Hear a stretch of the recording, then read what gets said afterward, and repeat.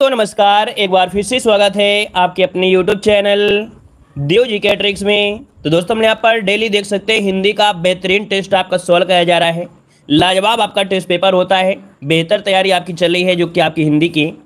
पहले यहाँ पर एक मॉडल पेपर भी होता है हिंदी का, और उसके साथ साथ आपके हिंदी साहित्य के भी क्वेश्चन यहाँ पर रखे जाते हैं। और आज इस क्लास में कुछ और नया होने वाला है दोस्तों, इसलिए वीडियो को पूरा देखेगा और जितने भी क्वेश्चन आपके सॉल्व कराए जा रहे हैं, वो सभी क्वेश्चन आप लोग सॉल्व करिएगा। ठीक है ना? तो चलिए स्टार्ट करते हैं। गुड इवनिंग गुड इवनिंग सभी को गुड इवनिंग सभी को गुड इवनिंग आज कुछ नए क्वेश्चन भी इसमें रखे गए हैं। मतलब क्लास के अंत में हिंदी साहित्य के बाद भी कुछ और आपका स्पेशल यहाँ पर रखा गया है। और अगर आपको अच्छा लगता है तो डेली ऐसे ही और भी यहाँ पर प्रयास किया जाएगा कि इसी प्रकार से क्वेश्चन और सॉल्व कराया जाए। ठीक है ना? चलिए गुड इवनिंग सभी को गुड इवनिंग सभी को गुड इवनिंग सभी को गुड इवनिंग चलिए दोस्तों, आवाज़ मिल पा रहे तो एक बार जल्दी से जय हिंद लिखिए। अगर आवाज़ मिल पा रही है हमारी तो सभी लोग जल्दी से जय हिंद लिखिए फिर हम लोग क्ला, क्लास को स्टार्ट करते हैं। चलिए गुड इवनिंग सभी को गुड इवनिंग राम राम सभी को जय हिंद। चलिए रेडी तो चलिए, पहला क्वेश्चन अच्छा आज का टारगेट भी देना है ना? आज का टारगेट हम आपको 40 नंबर दे रहे हैं। बहुत सरल टेस्ट पेपर है, इसलिए माइनस मार्किंग भी नहीं रहेगी। और 40 नंबर आपको लेकर दिखाना है, दोस्तों, नाक मत कटाइएगा आज हमारी, ठीक है ना? अपने भी नाक नहीं कटाना है और हमारी भी नाक मत कटाइएगा। 40 नंबर लेकर दिखाना है, कोई माइनस मार्किंग आज नहीं है। तो चलिए क्वेश्चन आपसे दिया गया है कि निम्नलिखित में से एक समुद्र का पर्यावाची शब्द आपका नहीं है। दोस्तों, यहाँ पर जवाब देना है वन नंबर में कि निम्नलिखित में से एक समुद्र का पर्यावाची शब्द आपका नहीं है। तो दोस्तों, यहाँ पर दिया गया है जलधि, है ना? फिर दिया गया है जलधाम दिया है, जलनिधि दिया है, लेकिन जलाधिप नहीं होता दोस्तों। यहाँ पर जो आंसर आपका दिया गया है, वो आपका डी नंबर राइट हो जाएगा। क्लियर है दोस्तों? क्लियर है? चलिए, आगे बढ़िए क्वेश्चन दिया गया है कह रहे सहयोगी सर्वथा उपयुक्त विपरीत आपको बताना है? दोस्तों, यहाँ पर बताना है सहयोगी का विपरीत क्या होता है, सहयोगी का विलोम क्या होता है। चलिए, यहाँ पर जवाब दीजिए, आपका राइट आंसर क्या हो जाएगा? सहयोगी का जो विपरीत होता है, क्या होता है? चलिए, दो टू का ऑप्शन आ गया प्रतियोगी। क्या होता है? प्रतियोगी होता है दोस्तों, यहाँ पर आंसर बनेगा। ए नंबर आपका राइट हो जाएगा। सहयोगी का क्या होता है? प्रतियोगी होता है। आगे बढ़िए क्वेश्चन आपसे दिया गया है, महाजन में समास कौन सा है दोस्तों? जवाब देना है, महाजन में जो समास है वो आपका कौन सा हो जाएगा? चलिए, महाजन महाजन की अगर हम बात करते हैं थ्री नंबर में तो ऑप्शन हो जाएगा यहाँ पर डी नंबर कर्मधारे समास। क्या बनेगा दोस्तों? कर्मधारे समास होता है, हमने बताया था कि जिस समास के समस्त पद में क्या होता है? एक प्रकार से विशेष और विशेषण का भाव होता है है ना? तो वहाँ पर कर्मधारय समास होता है। इसमें अगर आप तोड़ेंगे महाजन को तो बनेगा महान महान है जो जन, है ना? मतलब यहाँ पर जो आंसर है, वो आपका ऑप्शन डी हो जाएगा। आगे बढ़ते क्वेश्चन दिया गया है, निम्नलिखित में से कौन सा समास नहीं है? कौन सा समास नहीं है? दोस्तों, यहाँ पर जवाब देना है, कौन सा समास नहीं है? फोर नंबर में। चलिए, फ़ोन नंबर की अगर बात करें तो क्या हो जाएगा? तो देखिए, फ़ोन नंबर में आपका दिया गया है अब भाव समास, द्वंद्व समास बहुबरी समास, लेकिन क्या कर्म कारक समास होता है क्या? नहीं होता है ना? तो ऑप्शन क्या बनेगा? आपका सी नंबर राइट हो जाएगा। आगे बढ़िए क्वेश्चन दिया गया है, मैं खाना खा चुका हूँ, इस वाक्य में संयुक्त क्रिया का, संयुक्त क्रिया का कौन सा भेद है? यहाँ पर जवाब देना है। चलिए, जवाब दीजिए राइट आंसर में से क्या हो जाएगा? चलिए, देखिए यहाँ पर फाइव नंबर की अगर बात करें तो देखो, खाना खा चुका हूँ मतलब क्रिया जो हो गई है पूरी हो गई है, अर्थात समाप्ति बोधक इसका जो आंसर आएगा बी नंबर बिल्कुल राइट आंसर आ रहा है बी नंबर आगे बढ़िए क्वेश्चन दिया गया है, आँख की किरकिरी होना अर्थ बताना है, आँख की किरकिरी होना मतलब क्या होता है दोस्तों? चलिए, आँख की किरकिरी होना मतलब क्या होता है, अप्रिय लगना या धोखा देना। चलिए, क्या होता है? दोस्तों, यहाँ पर सिक्स नंबर की अगर बात करें तो दोस्तों होता है अप्रिय लगना क्या अप्रिय लगना कभी कभी आपने देखा होगा, लोग कहा करते हैं ना, कि आज आँख में क्या हो रहा है, खुजली हो रही है, अर्थात लगता है कुछ अपसगुन होने वाला है है ना? तो यहाँ पर आंसर क्या हो जाएगा? ए नंबर इसका राइट हो जाएगा ए नंबर चलिए, आगे बढ़िए क्वेश्चन आपसे दिया गया है कि अपनी करनी, पार उतरनी, लोकोक्ति का अर्थ आपको बताना है राइट आंसर में से क्या हो जाएगा? चलिए, कुछ लोगों को बोला है, बेटा कॉपी पेस्ट मत किया करें। आप लोग पुराने स्टूडेंट हो, पुराने स्टूडेंट हो तो पुराने स्टूडेंट की तरह रहा करो, है ना? लेकिन कुछ लोगों को समझ में नहीं आता, जबकि पुराने स्टूडेंट को पता है कि हमारे घर का नंबर क्या है है ना? हमारा घर कहाँ पर है? अरे, आपको मालूम है, आप व्हाट्सएप कर सकते हैं, आप टेलीग्राम कर सकते हैं, लेकिन नहीं, आप लोग मानते हो नहीं। जब तक आपकी बेजती ना की जाए, तब तक आप लोग मानते हो नहीं। भाई, जब आपको टेलीग्राम पता है टेलीग्राम में नहीं कर सकते हो। नया स्टूडेंट हो तो नया स्टूडेंट की बात की जाती है। पुराने स्टूडेंट होने के बावजूद भी कॉपी पेस्ट कॉपी पेस्ट कर रहे हो। चलिए। दिया गया अपनी करनी, पार उतरनी, लोकोक्ति का अर्थ में से क्या होता है? तो चलिए, यहाँ पर सेवन का ऑप्शन क्या हो जाएगा? यहाँ पर होता है अपने किए का फल भोगना। ऑप्शन क्या हो जाएगा? डी नंबर राइट हो जाएगा। चलिए, आगे बढ़ते हैं। क्वेश्चन दिया गया है, एक की वर्तनी शुद्ध दी गई है। यहाँ पर जवाब देना है आठ नंबर में, एक की वर्तनी शुद्ध है। कौन सी? आविष्कार दिया है देवर्ष दिया है, निशब्द दिया है और जमाता दिया गया है, दोस्तों। आठ नंबर में जल्दी से बताइए क्या हो जाएगा? चलिए, देखो यहाँ पर आपका जो दिया गया है, आपका आविष्कार ये बिल्कुल सही दिया गया है है ना? ये आपका जो दिया है बिल्कुल सही दिया गया है दोस्तों। यहाँ पर आपकी गलतियाँ हैं, देवर्ष में देखिए आपकी निशब्द आपका गलत है, जामाता में भी आपका गलत है। चलिए, आगे बढ़िएगा। गोरखपुर में किस बोली का प्रभुत्व है? गोरखपुर में किस बोली का प्रभुत्व होता है दोस्तों, नौ नंबर में। तो यहाँ पर जो आप क्या हो जाएगा? आपका जवाब हो जाएगा बी नंबर भोजपुरी। क्या हो जाएगा? भोजपुरी आंसर राइट हो जाएगा। आगे बढ़िए क्वेश्चन दिया गया है, कथा का बहुवचन क्या होता है? कथा का बहुवचन क्या होता है? यहाँ पर दस का जवाब देना है। तो दोस्तों, कथा का बहुवचन क्या हो जाएगा? ऑप्शन यहाँ पर जल्दी से दीजिए। चलिए डी नंबर बिल्कुल सही आ रहा है, जवाब आपका डी हो जाएगा, कथाएँ होता है दोस्तों, क्या होता है? कथाएँ, आपका आंसर राइट हो जाएगा। आगे बढ़िए क्वेश्चन दिया गया है, शैतान की आंत मुहौरे का अर्थ बताना है, शैतान की आंत मुहौरे का अर्थ क्या होता है? चलिए क्वेश्चन नंबर ग्यारह देना है, आपका जवाब क्या हो जाएगा क्वेश्चन नंबर ग्यारह में। चलिए, ग्यारह की अगर बात करें तो देखो, बहुत लंबी वस्त जिसका भी ऑप्शन आ रहा है बी नंबर जिसका भी ऑप्शन आ रहा है बी नंबर बहुत लंबी वस्त, बिल्कुल सही जवाब है और बहुत ही अच्छी तरीके से आपका जवाब आया है। चलिए, आगे बढ़ते हैं क्वेश्चन दिया गया है, निम्नलिखित में से कौन सा वाक्य वर्तमान काल का है? कौन सा वाक्य वर्तमान काल का है? दोस्तों, यहाँ पर जवाब देना है। चलिए दोस्तों, यहाँ पर वीडियो को लाइक भी करिएगा। दोस्तों, आप लोग देखिए, भूल गए हैं, है ना? जब हम आपको याद दिलाते हैं, क्योंकि आप लोग हनुमान जी बन जाते हैं। क्यों भाई?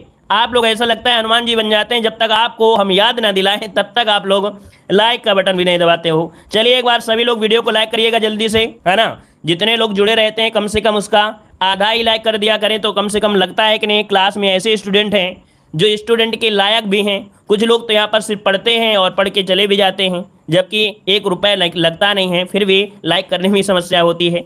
चलिए सभी लोग लाइक से कर दीजिए, दोस्तों, जितने लोग यहाँ पर जुड़े हुए हैं, है ना? चलिए। देखिए, यहाँ पर दिया गया निम्नलिखित में से कौन सा वाक्य वर्तमान काल का है बारह नंबर में? तो वर्तमान काल दिया है दोस्तों, आपका दिया गया है पॉइंट आपका पहला ही दिया गया है क्या? आपका जवाब है, शब्द दिया गया है और है शब्द से हो गया मानव पढ़ता है। ऑप्शन आपका नंबर राइट हो गया। आगे बढ़िएगा, अत्यधिक का संधि बताना है। अत्यधिक का शुद्ध संधि क्या होता है दोस्तों? यहाँ पर जवाब दीजिए तेरह नंबर में। चलिए, क्या बन जाएगा? जल्दी से बताइए अति धन अधिक क्या बनेगा? अति धन अधिक बनेगा। बिल्कुल सही जवाब आ रहा है। ऑप्शन आपका सी नंबर हो जाएगा दोस्तों। क्या बनेगा? सी नंबर आपका यहाँ पर आंसर राइट हो जाएगा। आगे बढ़िए क्वेश्चन दिया गया है कि तीन बेर खाती थी, वो तीन बेर खाती है। पंक्ति में अलंकार आपको बताना है। आपका चौदह का ऑप्शन में से क्या हो जाएगा? चलिए, तीन बेर खाती थी, वो तीन बेर खाती है पंक्ति में अलंकार। चलिए तो दोस्तों यहाँ पर दिया है तीन बेर और तीन बेर दिया गया है। बिल्कुल इजी हो गया है है ना? यहाँ पर दे सकते हैं आपका यमक अलंकार हो जाएगा। क्योंकि यहाँ पर बेर जो आपका दिया एक दो बार आपका हुआ है। दोनों का अर्थ ये अलग अलग आपका दिया गया है। पहले बेर का अर्थ हम लोग वक्त कह सकते हैं, दूसरे को हम लोग फल भी कह सकते हैं। तो आपका जवाब क्या हो जाएगा? ए नंबर जिसका आ रहा है, बिल्कुल राइट हो जाएगा। आगे बढ़िएगा अंजर पंजर ढीले करना मुहारे का अर्थ बताना है। दोस्तों, यहाँ पर जवाब दीजिए अंजर पंजर ढीले करना मुहरे का अर्थ क्या हो जाएगा? चलिए पंद्रह नंबर की अगर बात करें तो ऑप्शन क्या हो जाएगा पंद्रह नंबर में? ऑप्शन देखिए डी नंबर बुरी तरह से मारना, है ना? यहाँ पर क्या हो जाएगा? बुरी तरह से मारना मतलब ऑप्शन जो बनेगा, यहाँ पर आपका हो जाएगा डी नंबर राइट हो जाएगा। क्लियर है दोस्तों? चलिए, आगे बढ़िए क्वेश्चन आपसे दिया गया है। निम्नलिखित में से बिहारी हिंदी का रूप नहीं है। दोस्तों, ये बताइएगा, बिहारी हिंदी का रूप इनमें से कौन सा नहीं है? चलिए, बहुत अच्छे, फटाफट जवाब देते रहिए भाई। सभी लोग बिल्कुल फटाफट जवाब दीजिएगा।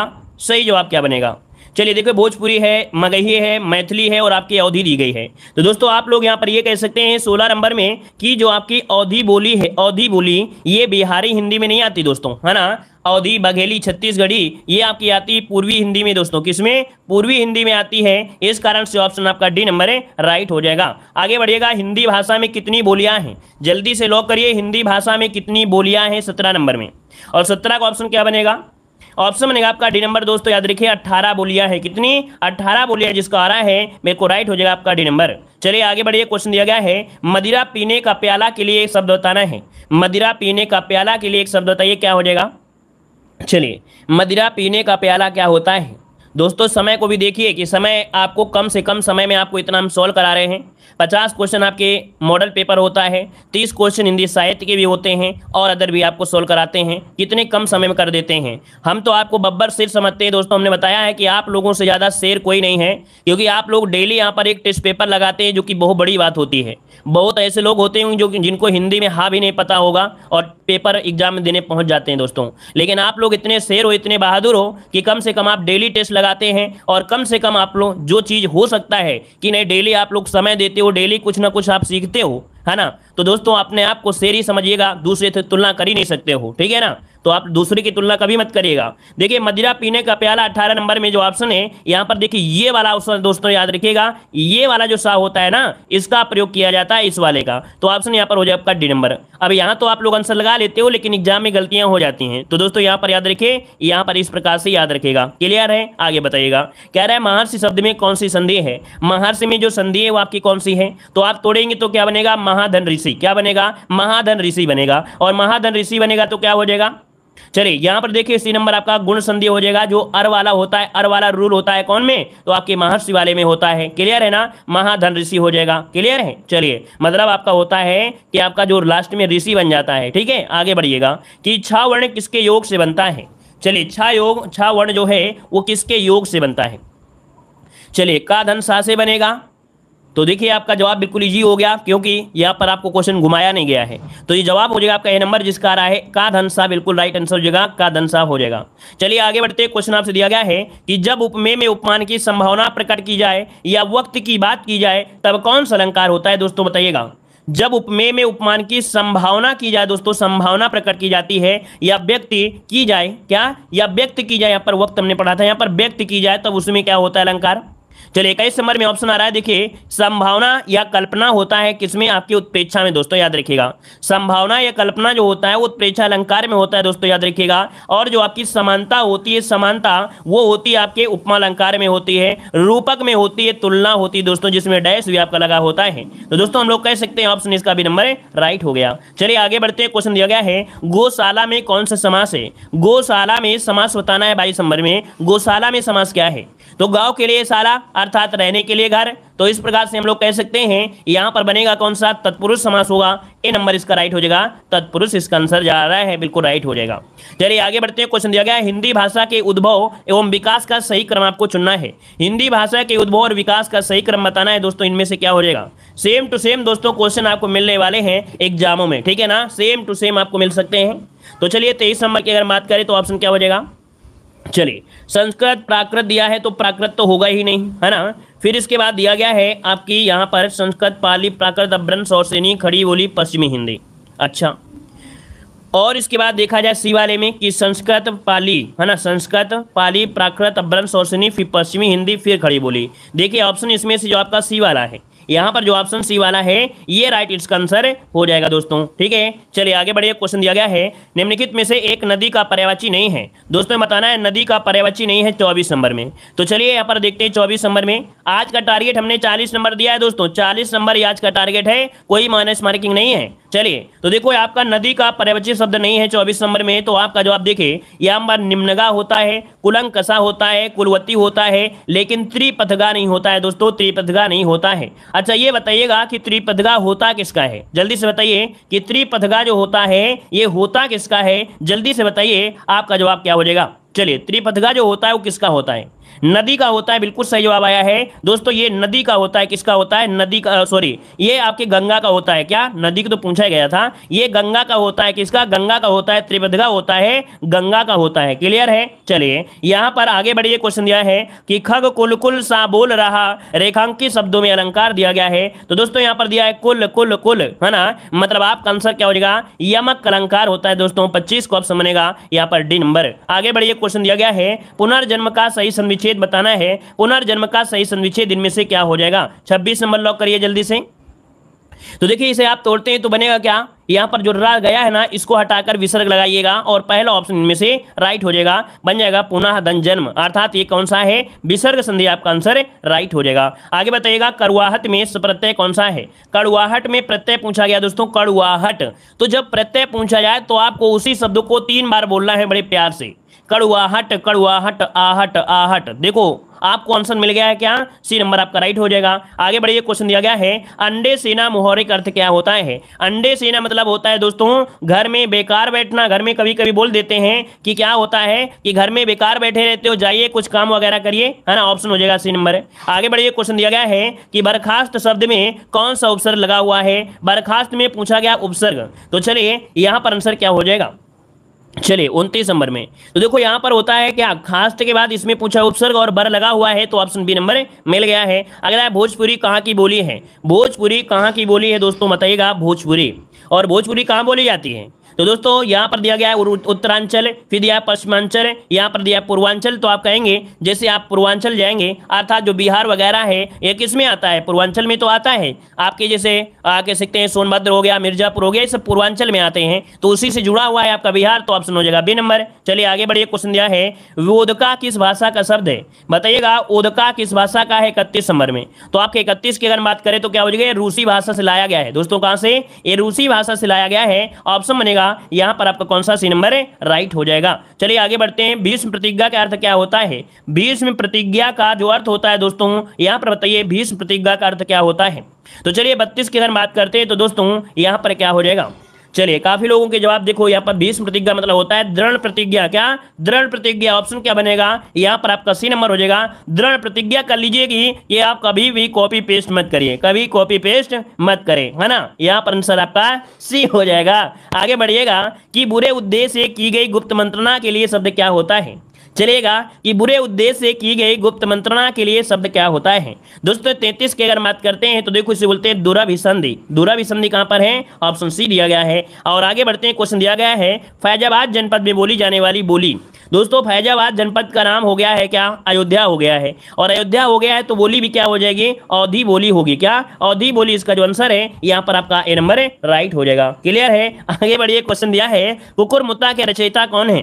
कुकुर मुत्ता के रचयिता कौन है दोस्तों? पैंतीस नंबर में। और पैंतीस की अगर बात करते हैं तो दोस्तों यहाँ पर हो जाएगा सूर्यकांत त्रिपाठी निराला। क्या हो जाएगा? सूर्यकांत त्रिपाठी निराला मतलब ऑप्शन जो है, वो आपका डी नंबर है राइट हो जाएगा। अगला है, राहुल ने तो आग में घी डालने का निश्चय ही किया है। मतलब यहाँ पर पूछा गया मुहावरे का अर्थ, आग में घी डालना। दोस्तों, आग में घी डालना मतलब क्या होता है? यहाँ पर उत्तेजित करना होता है ऑप्शन डी हो जाएगा। उत्तेजित करना ऑप्शन डी हो जाएगा। आगे बढ़िए क्वेश्चन दिया गया है कि सोहत ओढ़े पीत पट श्याम सलोने गात मनो नील मनीशैल पर आतप परियो प्रभात।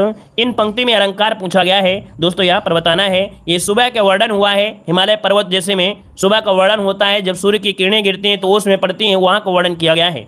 तो दोस्तों, यहाँ पर एक शब्द दिया है मनहू और मनहू जो लग जाए तो दोस्तों, याद रखिए, आपको परीक्षा अलंकार ही लॉक कर देना है। ऑप्शन जिसका ऐसे नंबर राइट हो जाएगा। अगला है, वह कन्या जिसके साथ विवाह का वचन दिया गया है। चलिए। बताइएगा कि वह कन्या जिसके साथ विवाह का वचन दिया गया है। तो इसे कहते हैं, दोस्तों, याद रखिएगा, वाग्यदत्ता कहते हैं, जो कि ऑप्शन यहाँ पर नंबर है, वाग्यदत्ता हो जाएगा। चलिए, आप लोग तो बिल्कुल शेर हो। क्वेश्चन को जैसे पाते हो, बिल्कुल झपट्टा मार लेते हो। एक भी क्वेश्चन गलत नहीं होने जाता है, पूरी तरीके से सही जाते हैं और तुरंत जवाब आता है। चलिए, बताइएगा, द्रगंचल का संधि विच्छेद क्या हो जाएगा? द्रगंचल। दोस्तों, द्रगंचल को अगर आप तोड़ेंगे तो निकलेगा दिक धन अंचल। क्या निकलेगा? दिक धन अंचल। मतलब यहाँ पर देखा जाए तो आपका जवाब उनतालीस में क्या बन सकता है? दोस्तों, यहाँ पर ये वाला दृक धन आंसर यहाँ पर हो जाएगा। यहाँ पर आंसर आपका सी बनेगा। आगे बढ़िए क्वेश्चन आपसे दिया गया है। कह रहा है आपसे, अगला क्वेश्चन दिया गया है, ऐसी जीविका जिसका कुछ ठीक ठिकाना ना हो, ऐसी जीविका जिसका कुछ ठीक ठिकाना ना हो, उसके लिए क्या होता है? दोस्तों, यहाँ पर आपका चालीस नंबर में। ऑप्शन जो आपका बी नंबर, आकाश वृत्ति होता है दोस्तों। क्या? आकाश वृत्ति होता है नोट करिएगा कि ऐसी जीविका जिसका कुछ ठीक ठिकाना ना हो, उसे आकाश वृत्ति कहते हैं। अगला बताइएगा, युद्ध की इच्छा रखने वाले को क्या कहते हैं? तो युद्ध की इच्छा रखने वाले को दोस्तों क्या कहते हैं? युयुत्स कहते हैं, जो कि ऑप्शन कहाँ पर है? आपका डी नंबर राइट हो जाएगा, युयुत्स हो जाएगा। अगला एक तद्भव शब्द आपका है, तद्भव शब्द बताइए क्या हो जाएगा बयालीस नंबर में? चलिए, बयालीस नंबर की अगर बात करें, तद्भव शब्द आपका कौन सा है बयालीस में? देखो, यहाँ पर दिया गया है, अटल दिया है, आतुर दिया है, अतिथि दिया है और आपका अजीर दिया गया है। दोस्तों, यहाँ पर आंसर क्या हो जाएगा? चलिए, बयालीस नंबर जिसका भी सही होगा, समझेंगे, उसका सबसे बेस्ट बेस्ट आज का टेस्ट पेपर गया है। चलिए, दोस्तों, यहाँ पर जो अटल दिया है ना, अटल, ये अटल का होता है, स्थिर क्या होता है दोस्तों? स्थिर होता है।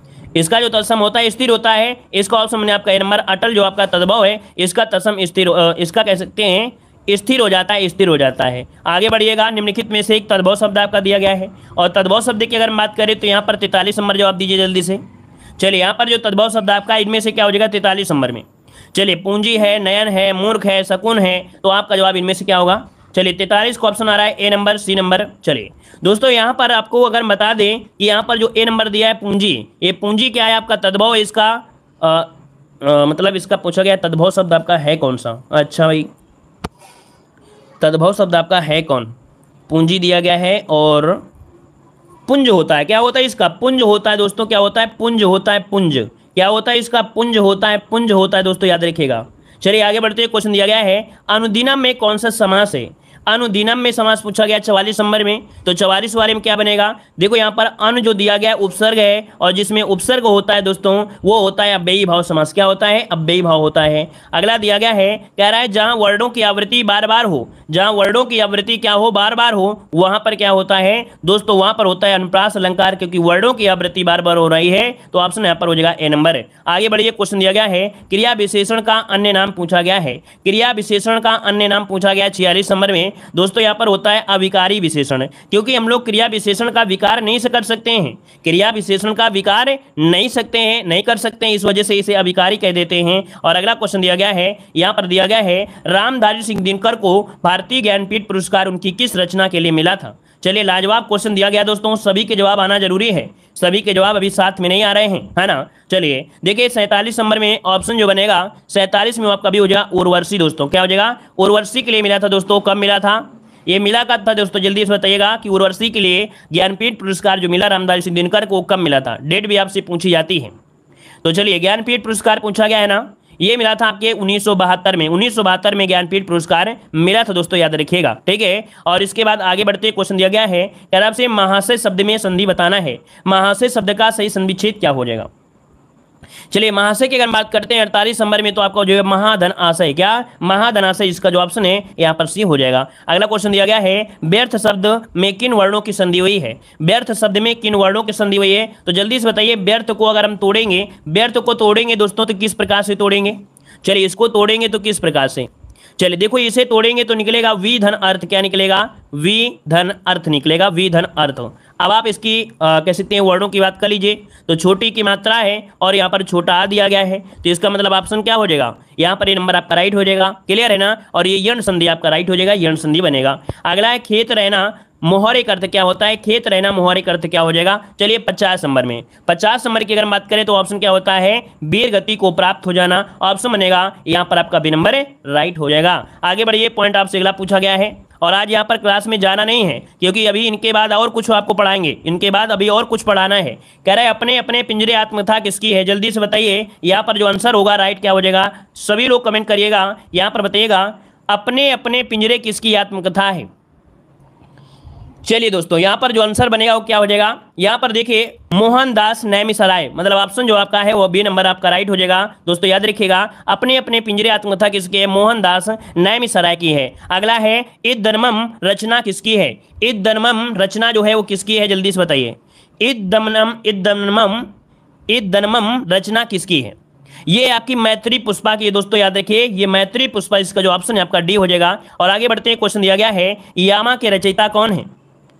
चलिए, यामा के रचिता पूछा गया। यामा के रचिता महादेव वर्मा बिल्कुल सही जवाब हो जाएगा सी नंबर महादेव वर्मा इसका आंसर राइट हो जाएगा। क्लियर है ना? और इस कृति को उन्नीस सौ बयासी में हिंदी साहित्य का सर्वोच्च पुरस्कार, ज्ञानपीठ पुरस्कार भी दिया गया था, है ना? उन्नीस सौ बयासी में ज्ञानपीठ पुरस्कार भी दिया गया था। आगे बढ़ते क्वेश्चन दिया गया है, संसद से सड़क तक काव्य के रचनाकार कौन है?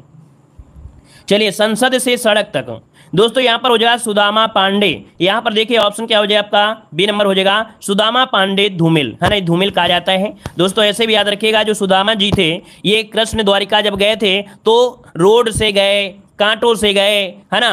कहाँ कहाँ से नहीं गए थे? इनके पैर में कितने कांटे लगे थे? तो दोस्तों इनो क्या हुआ? संसद अच्छी जगह है कि नहीं है? सड़क एक नॉर्मल जगह हो गई। तो ये संसद से सड़क, अर्थात सड़क से संसद ऐसे रट लीजिएगा। कुछ भी तो बनाना पड़ेगा ही पड़ेगा ना? तो ऐसे याद रखिए, सुदामा जी हो जाएँगे। बिल्कुल याद रहेगा आपको। ठीक है? आगे बताइएगा, चीफ की दावत कहानी के रचनाकार कौन है? चीफ की दावत कहानी के रचनाकार कौन है?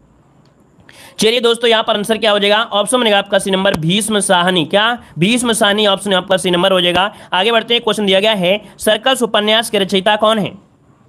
सर्कस उपन्यास के रचयिता दोस्तों, यहाँ पर पूछा गया है, आपका जवाब इनमें से क्या हो जाएगा? सर्कस उपन्यास के रचयिता। चलिए दोस्तों, यहाँ पर आंसर क्या हो जाएगा? यहाँ पर हो जाएगा डी नंबर संजीव। कौन है? संजीव, इसका ऑप्शन डी हो जाएगा। आगे बढ़ते हैं क्वेश्चन दिया गया है, कामायनी महाकाव्य के रचयिता कौन है?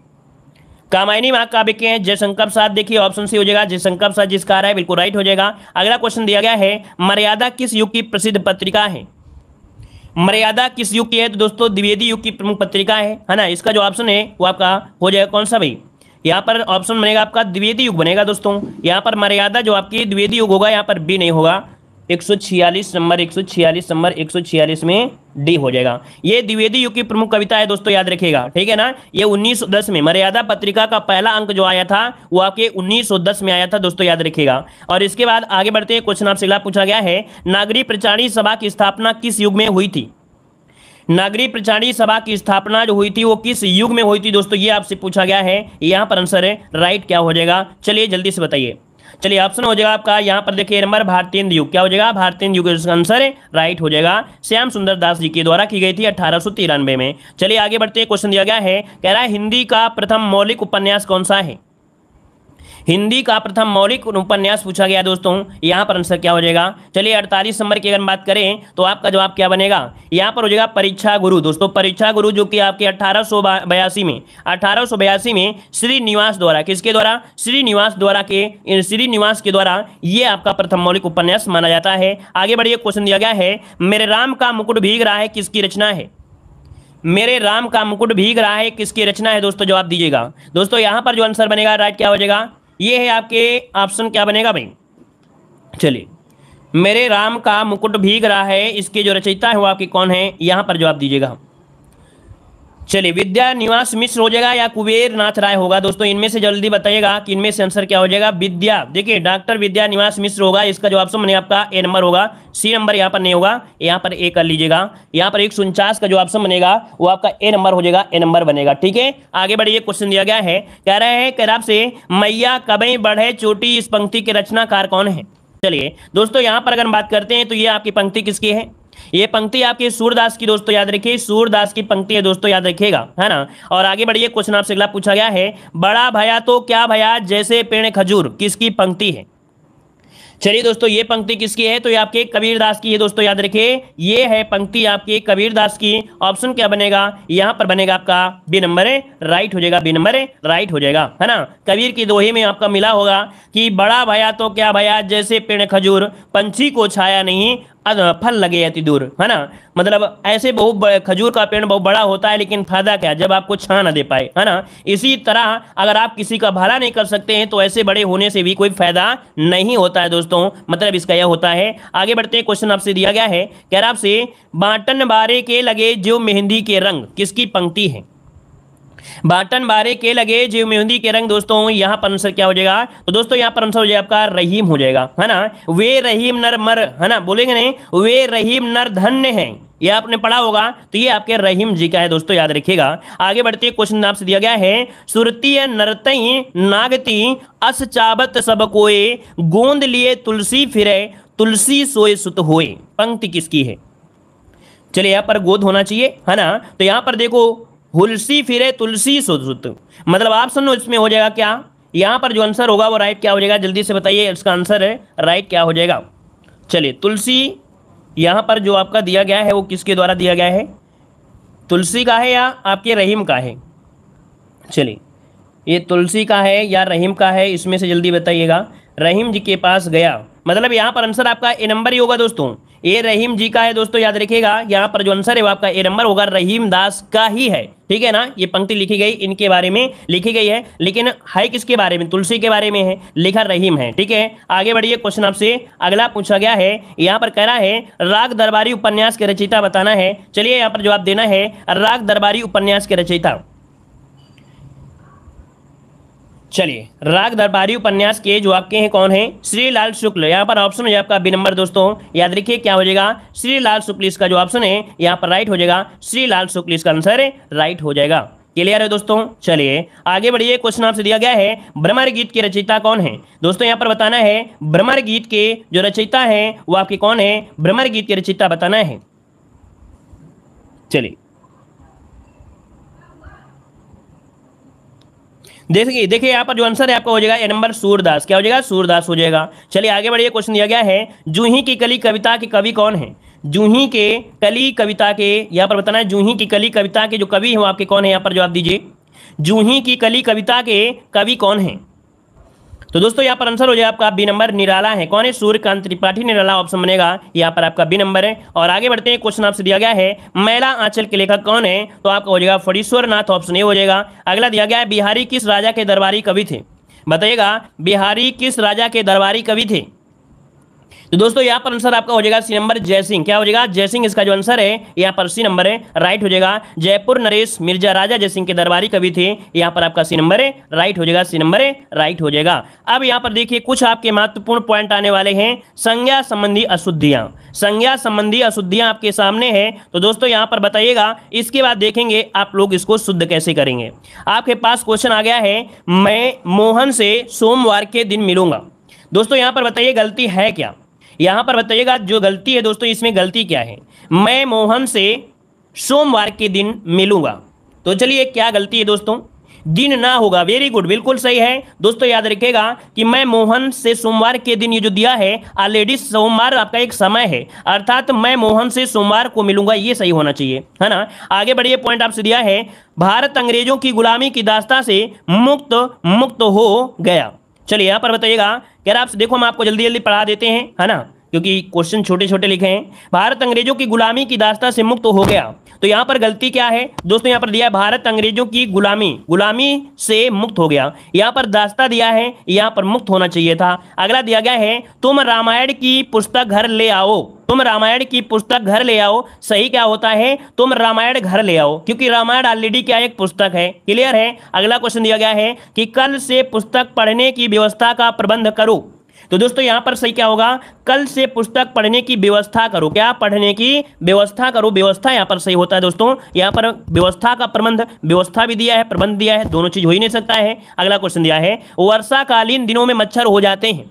वर्षाकालीन दिनों में। तो दोस्तों, यहाँ पर दोनों चीज़ दे दिया है क्या? वर्षाकालीन दिनों में मच्छर हो जाते हैं। तो वर्षा के दिनों में मच्छर हो जाते हैं। यहाँ पर ये शब्द आपको एक समय को दे दिया है। अगला क्वेश्चन दिया है, तुम्हारे आने से मेरा मन गदगद हो गया। तो दोस्तों, तुम्हारे आने से मैं गदगद गदगद हो गया। क्योंकि गदगद क्या होता है? मन ही तो होता है ना। अगला दिया गया है कि हम दस तारीख के दिन मिलेंगे। अच्छा भैया, दस तारीख को मिलोगे? तो यहाँ पर देखो हम दस तारीख को मिलेंगे। दोस्तों, यहाँ पर दिया है हम दस तारीख के दिन मिलेंगे और हम दस तारीख को मिलेंगे तो दिन लगाने की आवश्यकता नहीं था। अगला दिया गया है, प्रेम करना तलवार की नोक पर चलने के बराबर है। देखो, बिल्कुल सही बात है कि प्रेम करना तलवार की नोक के बराबर चलना है, क्योंकि प्रेम हो गया तो पढ़ाई बिल्कुल बेकार हो गई, है ना? इसीलिए बोलते हैं प्रेम लाल, लल्लू लाल, प्रेम सागर। लल्लू लाल, प्रेम सागर। तो देखो, यहाँ पर दिया है, प्रेम करना तलवार की नोक पर चलने का मतलब क्या होता है? प्रेम करना तलवार की धार होता है, नोक नहीं होता है, क्योंकि तलवार में धार होती है। अगला दिया गया है, यहाँ पर देखिए पॉइंट है, सर्वनाम संबंधी अशुद्धिया दिया गया है। मैं तेरे को देख लूँगा। देखो, यहाँ पर है, मैं तेरे को देख लूँगा आज आपने हमको कॉपी पेस्ट करने के लिए मना किया है, या आपने ब्लॉक किया है। तो दोस्तों, यहाँ पर अशुद्ध मैं तेरे को कभी भी, तेरे को, मेरे को नहीं होता है, मैं तुझे देख लूँगा, ये कह सकते थे। अगला दिया गया है कि वह लोग खेल रहे हैं, वह नहीं होता, वे लोग खेल रहे हैं, दोस्तों, है ना? अगला आपसे यहाँ पर दिया गया है, कह रहा है, पानी में कौन पड़ा है? दोस्तों, पानी में क्या पड़ा है आपका होता है। अगला है, उन्हें सब पता लग जाएगा, उन्हें सब पता लग जाएगा तो उनको सब पता लग जाएगा, उनको होता है, दोस्तों, है ना? ये क्या होगा? धीरे धीरे जब रोज पढ़ेंगे ना तो हमें ऐसा ऐसा लगा कि जिस चीज़ में आपको दिक्कत होती है, जैसे भी पेपर हुए तो पेपर में आप लोगों को शुद्ध और अशुद्ध में बड़ी समस्या आ रही थी। लगभग सभी लोगों को दिक्कतें आई थी। तो हमें ऐसा लगा कि इसके अगर हम 10-15 पॉइंट ले लिया करेंगे दोस्तों तो आपको यही एक हिंदी साहित्य के जैसा बिल्कुल ईजी लगने लगेगा।